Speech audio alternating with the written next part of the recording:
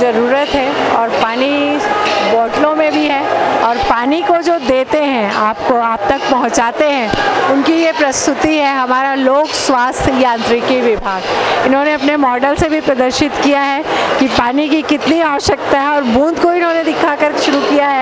ताकि आप पानी की एक एक बूंद आपके लिए कितनी उपयोगी है, उसे आप कैसे बचाएँ? तो अभी आइए, जानते हैं इनके सर से कि ये सर पानी के लिए हमें क्या नई योजनाएँ और क्या नई तकनीक हमें देना चाहते हैं।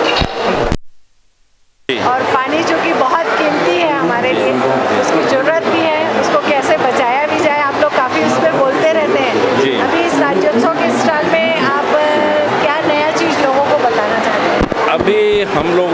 वैसे तो जैसे कि लोगों को पता है कि लोक स्वास्थ्य यांत्रिकी विभाग ग्रामीण अंचल और शहरी अंचलों में शुद्ध पेयजल प्रदाय करता है। अब इसमें आपने देखा होगा कि अभी तक हम स्टैंड पोस्ट के माध्यम से जल प्रदाय करते थे, एक सार्वजनिक नल लगा देते थे और उसके माध्यम से जल प्रदाय करते थे और घरों में नल कनेक्शन भी देते थे। पर उसमें जो पैसे वाले ले रहते थे, वही नल कनेक्शन ले पाते थे, बाकी गरीब नहीं ले पाते थे। तो अभी छत्तीसगढ़ शासन की एक महत्वाकांक्षी योजना है। मिनी माता अमृत धारा योजना। उसके अंतर्गत जितने भी बीपीएल गरीब परिवार के नीचे जो जीवन यापन कर रहे हैं, जो गरीब तबके के लोग हैं, उनको घरों में नल कनेक्शन फ्री ऑफ़ कास्ट उनको कोई पैसा नहीं देना पड़ेगा। शासन अपने स्तर से उनके घरों में नल कनेक्शन देगी। तो ये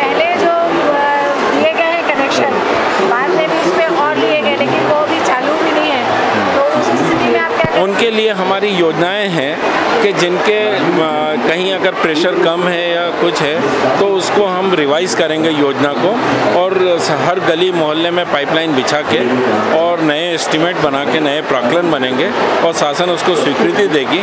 और हर घर में हमारा ये मिशन है कि हर घर में, यानी घरों में नल कनेक्शन होना चाहिए, घर में पेयजल की सुविधा उपलब्ध होना चाहिए, चाहे वो अमीर हो, चाहे गरीब हो। पर गरीबों के लिए हम मुफ़्त में उनको कनेक्शन देंगे। हाँ जी। सर ये जो नल हम लोग लगाते हैं तो उसमें वेस्टेज बहुत होता है सब जगह। डैम में कहीं पे वो नहीं लगा होता है नल भी नहीं होता है। वेस्ट होता है पानी बचाने के लिए। पर बाकी जो बड़े घरों में है तो उनके साथ भी ये होता है प्रॉब्लम कि वो पूरी गाड़ियाँ वगैरह धोते रहते हैं पूरे रोड पे फैलाते जबकि पानी की बूंद बहुत बचाना है। तो उनके लिए अपने पास क्या योजना है? जैसे कोई कंप्लेंट देखिए ये क्या है? ये सब चीज़ें अवेयरनेस प्रोग्राम के अंतर्गत आती है कि शासन के चंद लोग मिलके आप इतने बड़े ह्यूज पब्लिक को नहीं रोक सकते पानी का मिसयूज़ करने से। तो हम लोग अपने स्तर से जितना हो सकता है, हम लोगों को जागरूक करते हैं पानी के उसकी वैल्यूज़ के प्रति, क्योंकि हमारा जो पेयजल है, सुरक्षित है, ये डे बाय डे कम होता जा रहा है। तो हम अवेयरनेस प्रोग्राम चलाते हैं, बताते हैं और जनरली हमने, आपने सबने देखा होगा कि सार्वजनिक नल हैं, वो पब्लिक तोड़ देती है और वो पानी बहता रहता है। तो हमारे छत्तीसगढ़ शासन की ये योजना है कि अब सार्वजनिक नल को हम ख़त्म करके लोगों के घरों में ही हम डायरेक्ट कनेक्शन देंगे। और जब लोगों के घरों में देंगे तो उसका मिसयूज़ ऑटोमेटिकली कम हो जाएगा।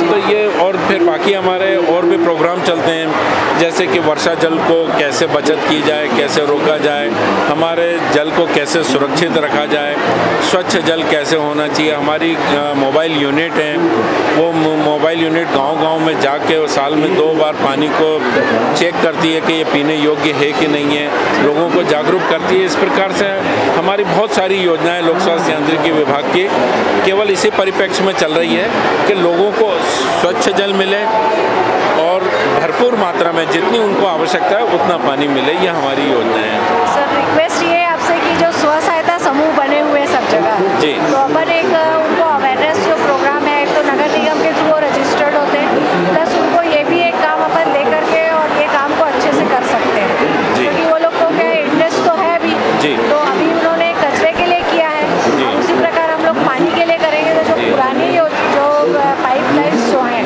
जो खराब हैं तो उनको अपन हटा करके और जो घरों में जो जल है उसको दें ऐसा करके एक सर्वे हम लोग उसमें करवाने के लिए सोच नहीं हमारे सर्वे डब्ल्यू की तरफ़ से हुआ है, और जो स्वच्छ जल है हमारा, उसको कैसे सुरक्षित रखा जाए, उसका दुरुपयोग नहीं होना चाहिए, ये ऐसे हमारे कैंपेन चलते हैं। परंतु इतना ह्यूज है ये मास को क्रिएट करके और उनको अवेयर करना, ये बहुत बड़ा काम है। तो इसमें और भी संस्थाएँ अगर हमसे जुड़ती हैं, और इस प्रोग्राम को आगे बढ़ाने के लिए तो अच्छा होगा, हमें कोई आपत्ति नहीं है, उसमें आ सकते हैं लोग बात नहीं सर, नगर निगम में एक्चुअली क्या होता है कि नगर निगम के थ्रू आपका ज़्यादा कनेक्ट होता है, क्योंकि पानी वगैरह वहीं से जाता है। तो उनके साथ में स्व सहायता समूह को भी उन्होंने रजिस्टर करके रखा हुआ है। तो वो रजिस्टर करने से क्या होता है कि एक मीडिएटर बॉडी जो है, वो अपने को मिल रही यूज़ करने के लिए। तो उसके थ्रू अपन कर सकते हैं ये हम लोगों ने सुझाव बनाया हुआ है क्योंकि हम लोग जनरली जाते हैं तो सर्वे करते हैं देखते हैं तो हमको ये चीज़ समझ में आई कि एक बार ये करके देखते हैं हमने कहा आपसे एक बार बात करके हम देखेंगे जी, जी, इसके थ्रू यदि आप लोग नगर निगम से उसमें जैसा भी एडजस्ट करके कर सकते हैं तो ये देखिए हमारे यहाँ दो प्रकार से हमारा पेयजल होता है जो नगर निगम में पेयजल होता है वो योजना विभाग बनाता है उसकी व्यवस्था जो है नगर निगम संभालता है। दूसरा, हमारा जो काम रहता है कि हम गाँव के लिए समूह जल प्रदाय योजना बनाते हैं इंडिविजुअल गाँव की योजनाएँ बनाते हैं, चाहे वो ग्राउंड वाटर पे आधारित हो या सरफेस वाटर पे आधारित हो तो वहाँ का उसका संचालन संधारण भी ग्राम पंचायत करती है। योजना हम बनाते हैं, उनको हैंड कर देते हैं। तो इस प्रकार के कोई अगर संस्थाएँ आती हैं, आगे आती हैं और इस काम में अगर सहयोग करती हैं तो इस पर शासन स्तर पर विचार किया जा सकता है कोई इसमें प्रॉब्लम बहुत बहुत धन्यवाद।